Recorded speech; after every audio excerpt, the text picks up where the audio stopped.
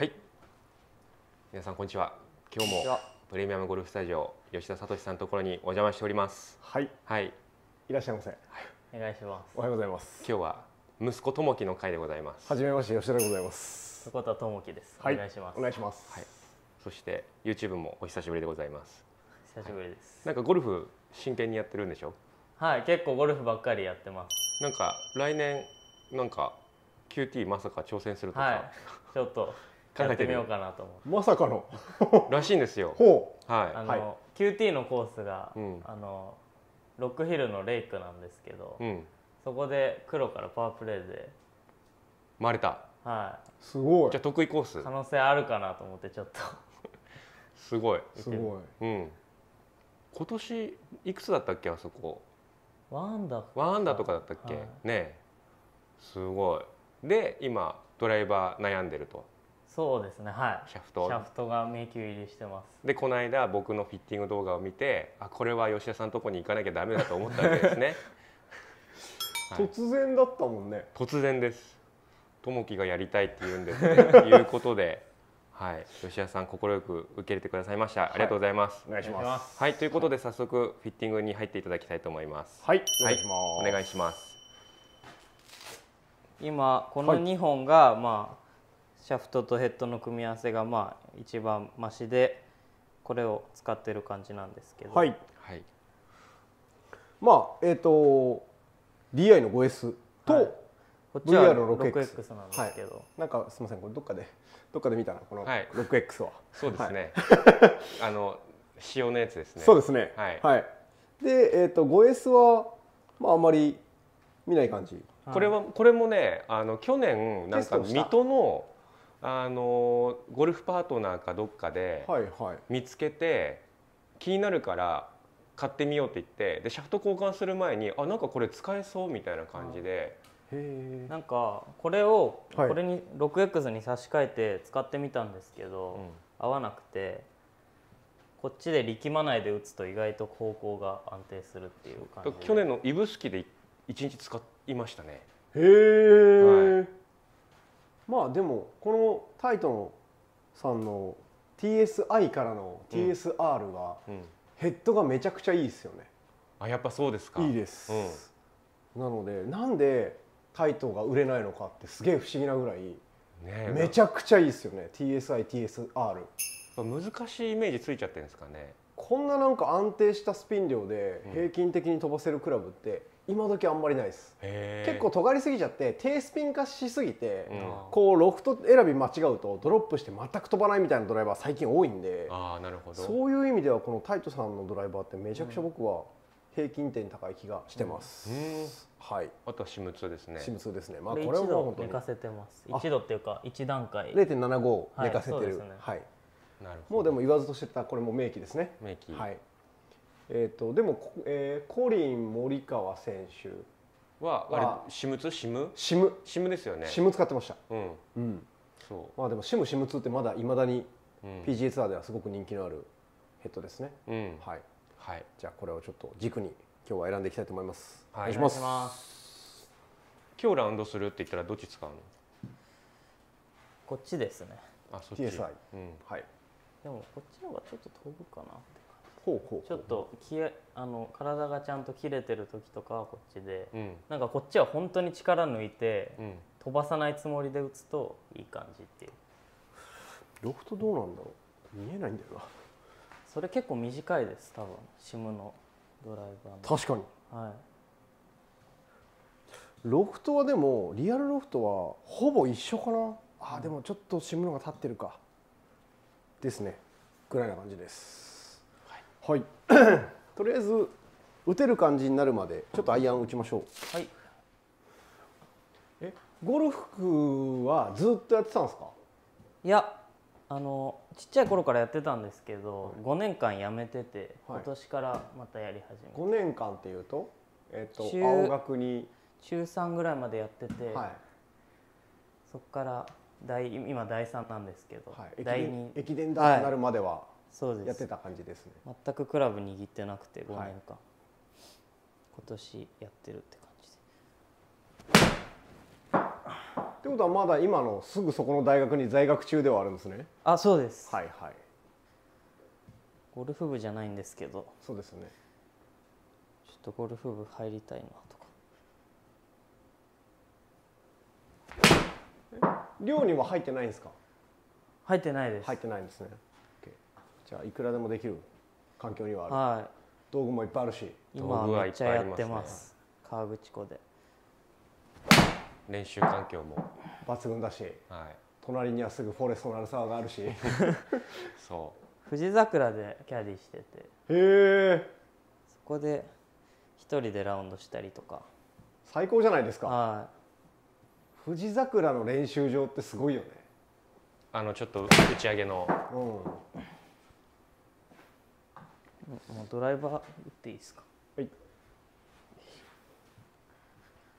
なぜかプロたちはみんなバンカーから打打つっていう練習場するねあそこねあ確かに。ねバンカーから打ってる選手多いよねあそこ。富士桜ですか。の練習場ああ、でもバンカーからうん。あの球を打てる練習場ってあんまりないじゃないですか。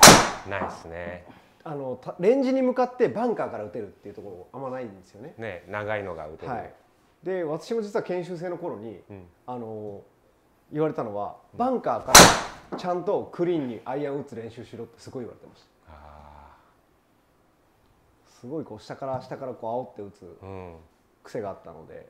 あでもめちゃめちゃ練習になりますよね、なりますね。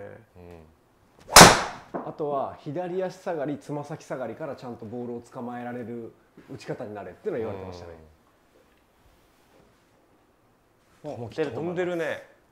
300ヤードぐらい飛んでるじゃん、本当ですか？うん、そんなに飛んでないと思うんですけど。初速70出るから。ちょっと吹いたか。お飛んでる飛んでる。もう打てます。はい。はい。じゃあお願いしまお願いすしますちょっとヘッドシャフトが45.5あるんではい。えっとバランスがちょっと出てしまうので、はい。ちょっとうちの方で軽いヘッドをちょっと用意させてもらってます。で、えー打っていきますが、はい。えーまずシャフトってどういうものですかっていうのをお話ししておきます。はい、えっ、と、まあ、シャフトってともきくんが何もしなかったらはい。動かないですよね。はいともきくんがバックスイングをして切り返しって頭の後ろで負荷をかけることによって要は折れたくないからシャフトは逃げますよって。うん。はい、逃げます。これがしなりっていう状態ですね、うん。はい。でこのしなりを作られてしまうとシャフトってすごくストレスがかかってる状態なので一生懸命戻ろうとするんですよ。はい。これがしなり戻りというやつでこのしなり戻るタイミングとご自身のスイングが一緒になってきてくれたらあれ？タイミング合うじゃんすんなり当たるじゃんってなるんですけど結局このタイミングが外れてくるとあ来ちゃった。全然来ない。この来ちゃったとか全然来ないっていうと緩みとか力みとかっていう状態になるのでまずはあれ？なんだ？ちゃんと戻ってくる。っていうシャフトを見つけていきましょう。っていうのがフィッティングです。でそうすると必然的に当たりやすいし当たってくるとどういう入射角で当たってどういう打ち出し角になってスピン量がどうだからじゃあどういうヘッドにしましょうよっていうのがちゃんと選べるようになるわけです。シャフトからってことですシャフトからです基本的には。なので私が今からカチャカチャカチャカチャしてお渡ししていくんで2球ずつはい打っていってください。お願いします。お願いしますそうか。まずはね自分がどういうシャフト好きなのかを知りたいよね、はまずその一番大事なのって経験値を積むことなんで、今まだやっぱりいろんなシャフトを打ったことがない、はい。結局まあお父さんのお下がりとか誰かのクラブを借りてとかっていうぐらいでしか多分経験値を積んでないので、い。は今日はたくさん経験値を積んで、い。ははい、いろんなカレーを試食して、うん。はい、ということで、はい。何が一番好きなカレーなのか 何風カレーなのか、うん。はい、選んでいきましょう。お願いします。お願いします、はい。じゃあ2球ずつお願いしますめちゃめちゃ嬉しいです、はいどうぞ。はい。じゃあ XC の 6X はい。はい。XC の6素振りした方がいいですか？はい。どうぞ。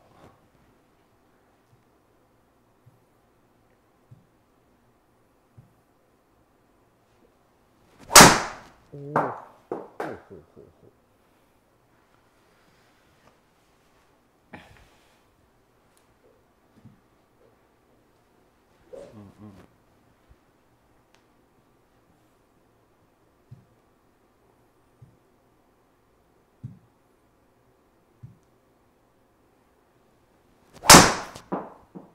はい、ありがとうございます。今まで打ったことない感じじゃないですか。そうですねはい。と思って一番最初に実はこれを選びました。あなるほどはい。まあそもそもが今まで結構しなり戻りが早かったりとかっていうのをうん多分打ってるはずなので、ーはいはこれがめちゃくちゃしなり戻りが遅い。硬いんですけどゆっくりしなり戻ってくるシャフトなんですだから1球目ちょっと出玉が右に出た感じがした、来なくて気持ち悪い感じになるじゃないですか。ははい、なのでご自身が持ってるタイミングとやっぱこれがすごくずれたっていうところだと思います。今日のテーマ経験値です。なるほど、はい。どうだった？自分が思ってるスイングで打ってたらちょっと出玉が右に出た感じで。なるほど全く違う感じですね。2球目はちょっとそれ意識して引っ掛けた。うんうん。シャフトの重量ってでもそんなに重くない方が良さそうだな。るほど。なうん。結構触れてるけど 60g 台とかでいい感じ、いや 50g とかでいいんじゃないのかなって思ってるんですよね。ちょっなんか今時だね。おおそうなんですかうん最近の若い子たちみんな軽いシャフト使ってますよね。とこれ何なんでしょうね。でもその自分で手元を低くするっていうことができるようになったからな気がするんですよ。なるほど。あの落とさない要は 60g って勝手に落ちるじゃないですか、うん。で手元が低いところでインパクトは低く収まるんですけど、50g って言うと僕らの世代の人たちって手元を浮いちゃう人多いですよね、うん浮く浮く。でも今の人たちって結局ハンドファーストでこういうスイングをこういうスイングをって昔からこうやってやってるんで抑えられるからそう。なるほどね。僕何も考えてないでです。ともきそれは？これはさっきの。あ XC の 5X はい。おです。軽くなっただけ。さっきのが 6X かはい。うん。はい。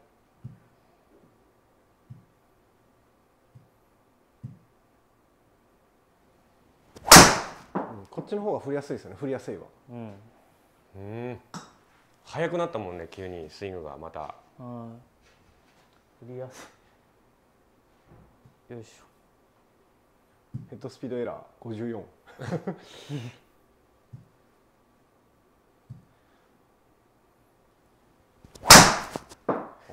なんか素振りの時からちょっと下にワンタッチしちゃう感じ、はい。へえさっきのもそうだったんですけど。よしちょっとじゃあ振りやすいところを見つけてったらそこから 50g なのか 60g なのかをちょっと探りましょう。はい。まずはどういうのが振りやすいのかを先に見つけていきましょ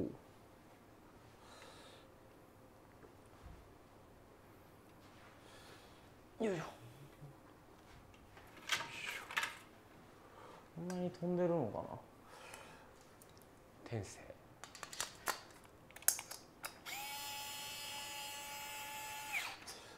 天性のブルー。はい。6X で 6X X なのか S なのか難しいとこだけどな。あそうなんすか。どっちが好きなんだろうなっていう気がします。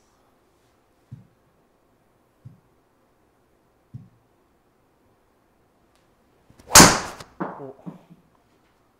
ちょっといいかもしれない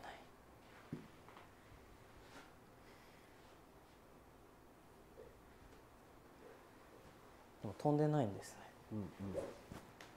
ヘッドスピードが急に上がった。うん。はいこれ振りやすいです。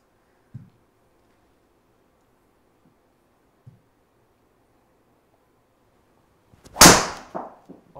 ほうほう、うん。はいありがとうございます。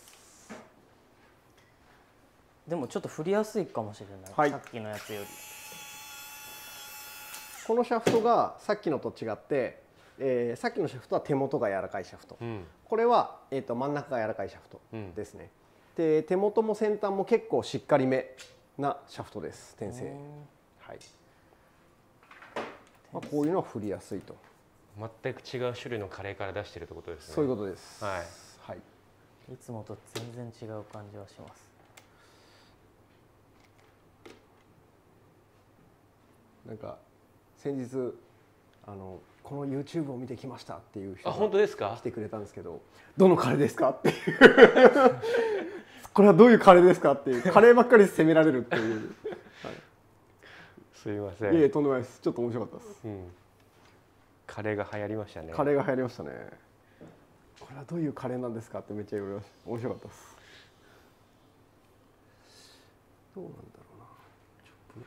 グリップは全部一緒ですか？グリップは基本的には一緒です。ベンタス。はい。ブラックの 6S おおなんかもう本当全然違うとこ出してきますね。はいお願いします。はい。ベンタスブラックの 6S でなんかみんな使ってるやつですよね。まあ流行ってますね。はい。おお流行り物は一回抑えたい全然違う。はい。全然違う。ちょっと柔らかく感じます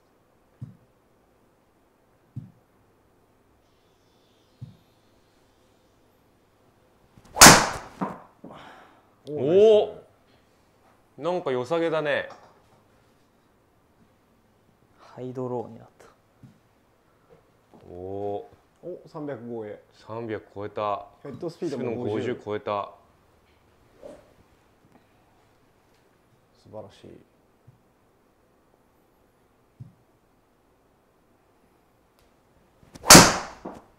ナイス。おおうん。さっきのとは全然違います。柔らかく感じる感柔らかく感じるんだ。じは聞きました？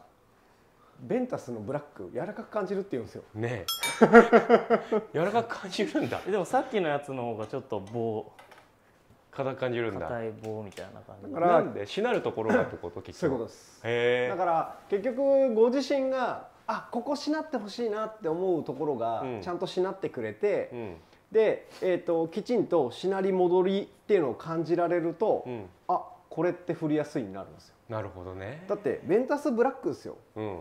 僕これ 6S だろうと、なんだろうと型って感じるんですよ。うん。はい、棒に感じますよはい。ね、僕普段まあこの間浅野くんが選んだ UB のはい。6X を使ってるんですけど、はい。6X よりもこの 6S の方がめちゃくちゃ硬く感じるわけですよ、うん。でじゃあ、えー他のメーカーさんの 6S 例えばじゃあ藤倉さんのスピーダーシリーズうんの 6S と比べてもベンタスってちょっと硬めに振動数が出るので、じゃあ今なんで X から 6S にしたかっていうと硬く出るから 6S にしてみたんですけど、うん。そうするとともきくんは柔らかく感じるうん。多分視聴者の方でもうん。このベンタスを打ったことがある人がいたら「うん。えそれ柔らかいんですか?」って今すごい画面の向こう側で言ってると思います。うん。あれ？でも本当それが振りやすいっていうのはあの本人の率直な感想だと思うので 全然悪いことではないです。ね明らかに結果もいいですもんうね、ん、すごいいいです。結果がすごくいいちょっとじゃあ似たような感じのシャフトをはいテイスト違いでいきましょう。山田 PD の 6X。はいはい、お願いします PD の 6X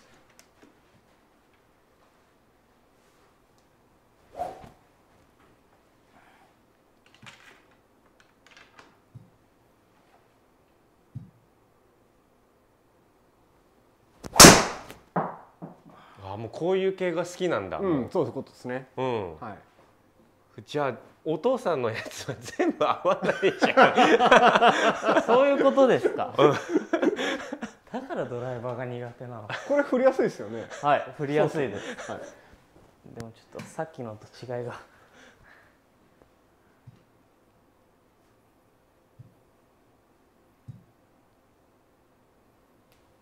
ナイスです。明らかにいいもんね、全然違う。だからこれ振りやすいってなったらそこをあの一応僕も大体打ってるんであじゃあこのテこのテイストだったらこの感じだよねが渡せるようになるので、なるほど、はい、あとはこの辺のしなり方のシャフトの周辺を何本かお渡ししていって絞っていくっていう感じですね。はい。はいすごいね。これ僕がやった時とはまた違う違います？びっくりな出来事が起きてますね。まあ、基本的にはその、まあ、浅野君の時の場合は、うん。えっと、メーカーさん単位でやってったんで、うん。まあ、このメーカーさんのこれ打とうこれこのメーカーさんの中でどういうのを打とうってやってたんですけど普段のフィッティングはこんな感じです、ね。はい、最初の2本ぐらいのやつ打った時は、うん。もう素振りで自分が思ったところに通過してない感じでしね。なんかはい。とすって自分で打ってたもんねなるほど。よし。今のところはじゃあ PD だけど次回はここからまたさらにいいシャフトが見つかるか後半戦いきたいと思いますので今日はここまで。たはい。最後までご視聴いおただきありがとうございました。ありがとうございました。ともきいい服着てるね。かっこいいです、5225絶賛発売中なんでもうサイズ色的になくなってきてるものもありますんでぜひ皆さんお早めにお買い求めください。お願いします。M サイズです